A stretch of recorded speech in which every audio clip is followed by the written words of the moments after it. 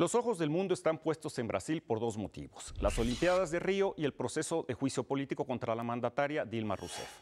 Tal como se preveía, el Pleno del Senado brasileño dio luz verde a la destitución de la mandataria brasileña, quien fue reelecta en 2014.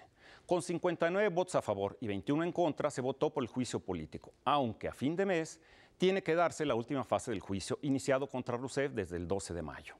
El proceso de impeachment contra la presidenta inició en octubre pasado y en abril se creó una comisión especial de la Cámara de Diputados para iniciar el proceso, argumentando que hay indicios de que cometió crímenes de responsabilidad fiscal, esto es, que violó normas fiscales maquillando el déficit presupuestal, que es el uso de fondos públicos para cubrir programas que son responsabilidad del gobierno, práctica que está prohibida por la ley de responsabilidad fiscal.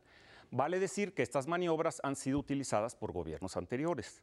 Hay que recordar que Dilma Rousseff no ha sido acusada de enriquecimiento ilícito ni de corrupción.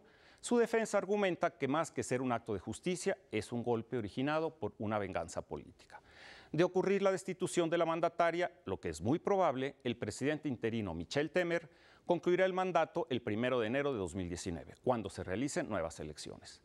Concluyendo este proceso de destitución, se abre un periodo de incertidumbre política en un país convulso que volverá a su realidad una vez que termine la fiesta olímpica de Río 2016.